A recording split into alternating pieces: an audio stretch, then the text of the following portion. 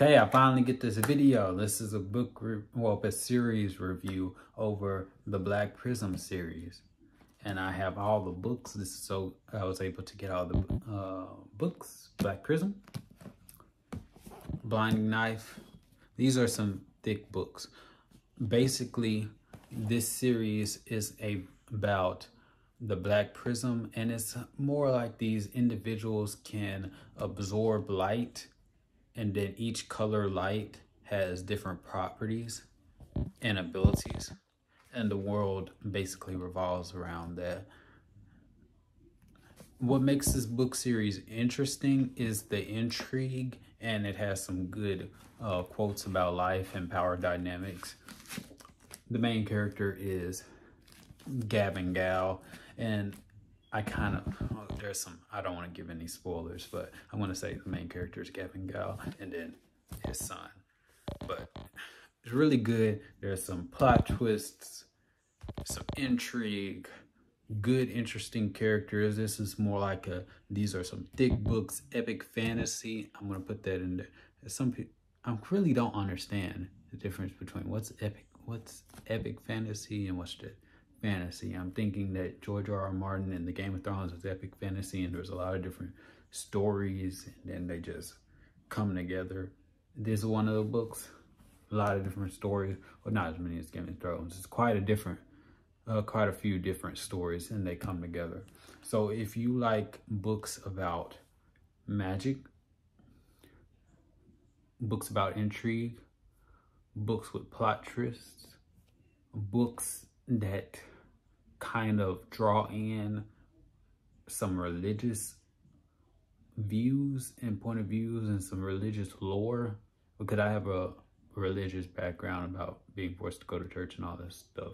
I'm not religious personally, but I still have that background. So it's like a good take of it. So I guess if you are religious, you might like it even more. So I don't want to give any spoilers for this series. Plus, it's been a while since I read it, so my memory's not that good. I just know the high points. So that's why I say, if you get a chance, check out this book. I'll have a link in the description. There are one, two, three, four, five books in the series. The only problem that I have is, and I have a problem with another book series that I will do a review on, that he finished the series too early.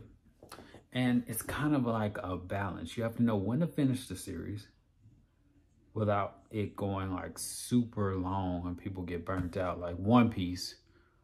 But that's an anime, this is a uh, book. And then just finishing it too short. Like on the last book, I think he could have gotten a, another book out of it. He just ended it, the main villain, he just ended it too soon. But still a good book. Still good. Look, I'm just upset on, on that part.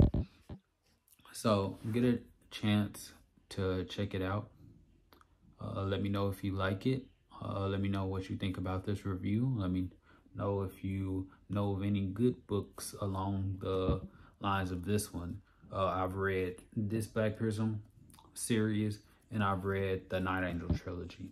Both of them are good series if you know any books along those because I actually want to read good books with some realistic, more young adult adult books because these children random fantasy about having fun. I got tired of all that. There's some light novels I read that I just got tired of reading because no, it's just them doing random stuff, random shenanigans and stuff. I I don't have time for that.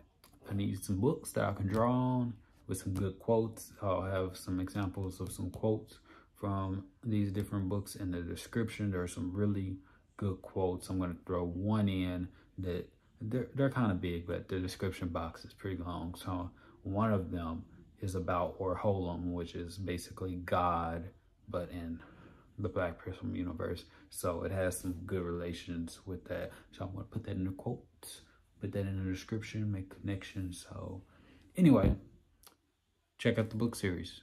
It's good. Just check out the first book. I know a lot of people nowadays on social media platforms, their, uh, what is it called? Their timing, their attention span is not good enough to read. But this is a good series, so I don't remember getting bogged down on it. Like I was able to read it and it wasn't slow at any point. So the pacing is good. So you should be able to keep pace. It's not as good as um, what's that series? I just did a series on, and they're coming out the Red Rising series. Not as good as that.